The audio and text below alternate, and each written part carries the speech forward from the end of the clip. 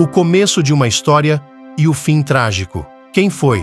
Sara Freitas, uma mulher batalhadora, guerreira, uma mulher de fé. Como tudo começou, quando nova, ela já tinha um chamado de Deus.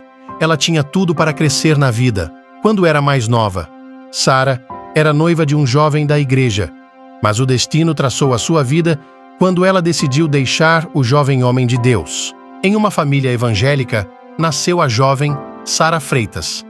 Sua mãe, Dolores, uma mulher de fé guerreira, uma mulher de oração, sempre lutou, orando pela sua família e pela vida de Sara. Freitas, Deus tinha um chamado lindo na vida de Sara. Então, um certo dia, nas redes social, ela se deparou com Ederlan. Então ela marcou encontro com ele. Então começaram um romance. Tudo parecia flores, tudo era lindo, perfeito que envia. Acreditava que esse era um casal perfeito para ser bem na vida e na presença de Deus.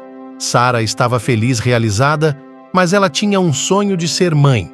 Então, Ederlan e Sara tiveram uma filha chamada Esmeralda, tão linda, perfeita, a criança foi um presente de Deus para o casal. O começo do ministério de Sara, ela começou com um ministério cheio de poder, graça, unção, vidas salvas, pela pregação dessa serva de Deus, quanto mais ela se dedicava, mas Deus operava milagres através da vida dela. Vidas foram impactadas com seu testemunho de vida, um exemplo de mulher de fé.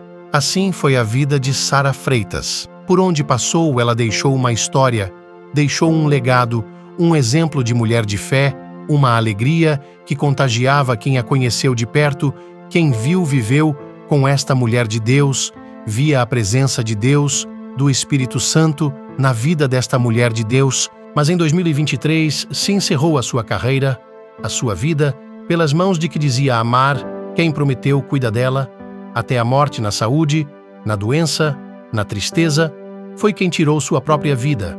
Qual será? Que foi o motivo? Ciúmes, ódio, inveja, ganância, nada justifica a covardia que fizeram com ela. Mas é assim. O mundo, as pessoas boas, vão embora, cedo e ficar as lembranças, em nossos corações, o começo e o fim da vida. De Sara Freitas, queremos justiça.